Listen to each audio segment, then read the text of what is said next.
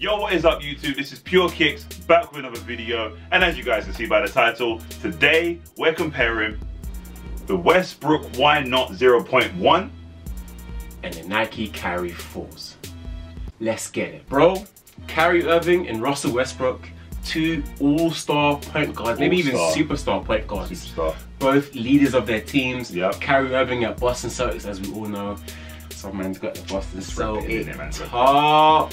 You know how it goes already. The guy does amazing things on the court. The craziest handle I've ever seen. Russell Westbrook, triple double king. He has done something that we have never seen before. To average a triple double in two seasons, bro. The last time this was done, just in one season, was Oscar Robertson, 50 years ago. It's mad. Before me and you were even alive, and they both have these two amazing shoes. And we want to see how they compare to each other.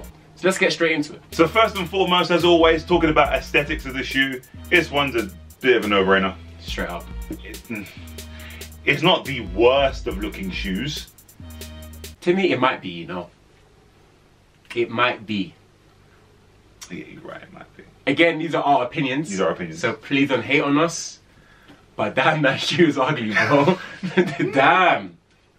Damn. So we'll just move on. We'll move on. We're, we're just gonna move on. We're gonna just move right on. Now, talking about the traction in both shoes, over here the Kyrie 4, what we have is that staircase Tetris modified herringbone traction pattern, which gets the job done. The way it wraps around in the shoe is something we've become accustomed to in Kyrie's performance sneakers. Yep. Always provides amazing traction. This shoe does the exact same thing. Love the traction in this shoe. In the Westbrook, we've got that modified herringbone made up of these individual nodes, which only recently have I realized create a pivot circle Yep. in the forefoot, which is great because that gives you that 360 traction as well when you are twisting and turning as such. Does the trick. Does the trick very, very well. Individual nodes makes it adaptive. It wraps around a little bit too, so you do get that traction on the forefoot as on the inside of the shoe, if that makes sense. So you do really feel it. Does bite the floor really well. Really, really nice. Yeah, I think the traction in both shoes are really, really good. I think the point will have to go to the Kyrie, Yeah. only because you get a bit more coverage in the Kyrie in You terms of the way it wraps around. Yeah. And the shoe pretty much was designed for traction, and with the banking in the shoe as well, the way the, the, the outsole's curved as well. So I think the traction has to go to the Kyrie for. So next up, we're talking about cushioning, and in the Westbrook, we have full length zoom. You sure it's not full foot? Full length zoom. Or on the heel? Full length zoom. It's what to me? Full length zoom. Fantastic stuff. Full length zoom, we're both big fans of. We love it. I don't know anyone who's not a big fan of full length zoom. If you're not, trash. Um, but wow, it feels great. Responsiveness everywhere from heel to toe, from toe to heel. Full length zoom feels incredible. It's responsive, it's comfortable, gives you great impact protection, close to the ground. Boom, Gets the job done. gets the job done. Over here, what we have is an upgrade in Kyrie shoes, a shoe line that's not really known for having good cushioning, but the Kyrie 4 smacks it. It has full length cushion Yeah. and a zoom unit in the heel. It's the first time we've had good cushioning in a Kyrie shoe. And the shoe does a good job, provides you know low responsive cushioning with some nice impact protection as well, which Yeah. you get from the Zubag in the heel. But comparing the two, Full length zoom. Say it with me now. Full length zoom. that was so mad. I don't know why I did that. Very I'm so sorry. That was that's So wavy. When I say say it with me, you say it with me. I, uh, What is what is it doing, baby? Next up, talking about the materials in both shoes. Over here in the Kyrie 4, what we have is mesh backed up with some nylon here in the forefoot section part of the shoe. And in the heel area, we have this synthetic suede and in the toe area as well. It's nice um, mixture or a nice balance between new school materials and old school materials too.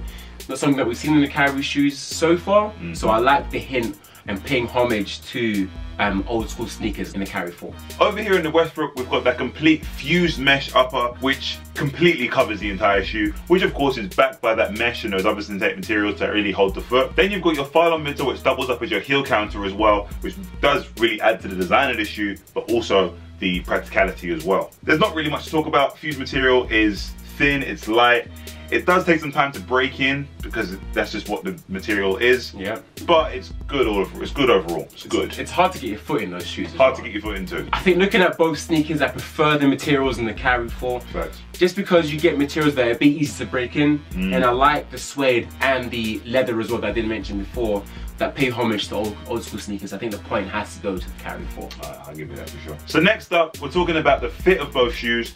The Westbrook, as we mentioned a second ago, is quite hard to get on. Yeah. But for good reason. Yeah. Because once it is on, it holds the foot super, super well. This Phylon heel counter we were talking about earlier does the trick. Padded, also at the back as well. This fuse mesh up with those mesh materials under it really hug the foot and hold you down to be explosive just like Westbrook as well. So all those movements and those jumps, those turns, those rebounds, anything you're doing on the court, you're really taken care of because the Westbrook is a lockdown shoe for sure. So one of the biggest downfalls of the materials in the Westbrook is the cutting that happens in the ankle. I said it in the performance review, my poor ankles, it's tough and it hurts. It's not enough. It- it- it's sharp, okay? And it hurts. Now it's not as bad now because I've wore them a little bit more and breaking them in, but the initial kind of digging in that cutting,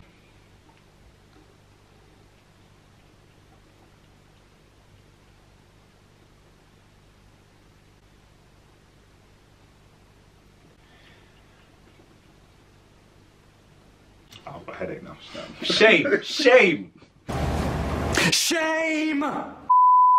Over here in the Kyrie 4, what we have is this nice adaptive fit with the fly wire in the forefoot area, and then the heel section where the suede was, where I mentioned before, it provides that nice ankle containment as well. The fit in the shoe is nice. Just like the traction in the shoe, this is a shoe that, that's designed for movement. Mm-hmm. Kyrie, the way he is, the way he moves, the shoe kind of conforms and, and adapts to the way Kyrie moves as well. So the fit in the shoe is really good. Looking at both shoes, I think the fit has to go to the Westbrooks. The edges. Just just by a little bit. Mhm. What I don't like about them is that you can't um, change the laces in them, Mm. but the shoe fits so well, so you don't have to worry about that. I think I'm just a hater because I, I just love laces and I like laces in my shoe up nice and tight. But the shoe gets the job done. It's hard to get on. Once your foot is in there, eventually the fit the shoe fits nice. So moving on to the support of both the shoes. In the Westbrook, we've got that really great fit, which I spoke about a second ago. You've got your heel counter, which doubles up as your Phylon midsole, which does the absolute trick. Padding on the inside of that, and this ankle strap as well. It all comes together really well, but almost too much. Now, for those who've ever had the shoe in hand or even tried them on, they know it's kind of a heavier shoe. Not, it's on the heavier side, not the heaviest. But where the way it comes together does cause some restriction. Mm. So it does feel like you're not being able to do all the things you want to do because of the strap, because of the heel counter, and because of the materials. Even though they're there to support, yes, but if you're definitely a regular player, maybe a smaller guard or something along those lines, who maybe doesn't weigh as much, you'll definitely feel it in this shoe.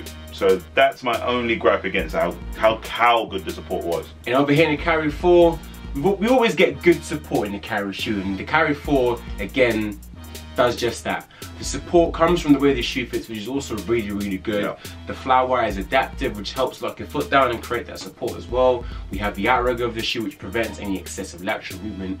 And then the heel containment, again, helps um, lock your heel in so your foot is just contained in the shoe and provides good support.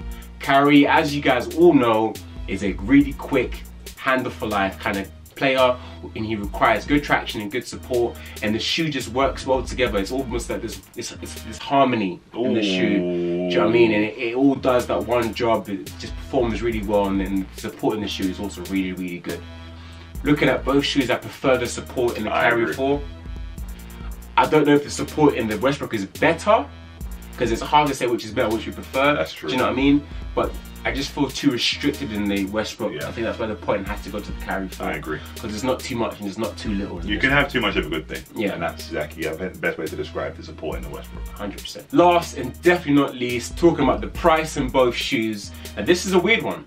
The Kyrie retails for 105 pounds, and the Westbrooks for 115 pounds.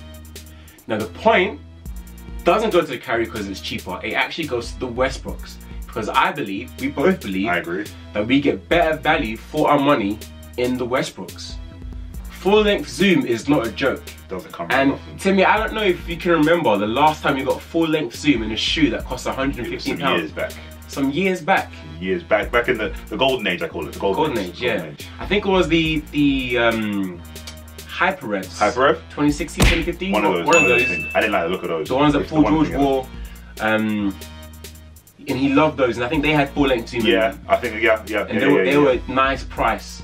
To get full length Zuma is not a joke, people. It's not a joke. It happens very rarely, and the shoe provides that. For Westbrook to get full length Zuma in his first shoe, priced at 115 That's saying pounds, something. I'm very happy with that. That's saying something. I'm, I pay 115 pounds for full length Zuma. I'd happily pay the ten pounds different if you're telling me easily. you get this, you get that, but I get full length for ten pounds more. easily.